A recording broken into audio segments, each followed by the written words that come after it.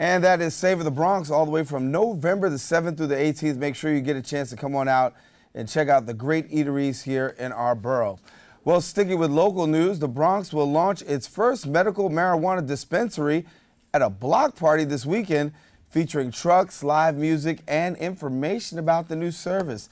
The grand opening of the facility will take place on Saturday at 405 Hunts Point Avenue, where prospective patients can learn about its offers and services and will be under the Illinois-based company PharmaCannabis. The company will stock vapor pens and tinctures for people undergoing treatment for cancer, as well as HIV, epilepsy, and other conditions. Now, if you want more information on the facility and its operating hours, please visit pharmacannabis.com. A juvenile detention center in our borough will be replaced by an affordable housing complex over the next eight years. The New York Economic Corporation said it will turn the Spofford Juvenile Detention Center into a project they're calling the Peninsula. It will include 740 affordable housing units, a new public plaza, and 21,000 square feet of ground commercial space. The project will cost about $300 million and should create about 177 permanent jobs as well as 1,600 temporary construction jobs. The transformation of the detention center was open for more than 50 years. It's been set to be completed by 2024. In other news, Bronx elected officials are calling on Apple to open a store right here in the Bronx.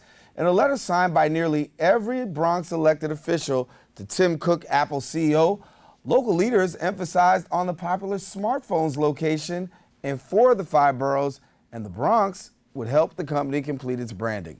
The letter also suggested several potential homes for the Apple Bronx, that's what they're calling it, including the mall at Bay Plaza in Co-op City, as well as the highly trafficked retail spaces at the 3rd Avenue Hub, Fordham Road, and Kingsbridge on Broadway. Bronx Borough President Ruben Diaz Jr. said in the letter, quote, We've seen incredible transformative development in the Bronx since 2009. Numerous companies that may have looked us over in the past are now clamoring to do business here. Tens of th thousands of Bronx residents are already Apple customers, so a new Apple store right here in the Bronx will be a perfect fit for this borough. Of course, we'll keep you up to date on that story.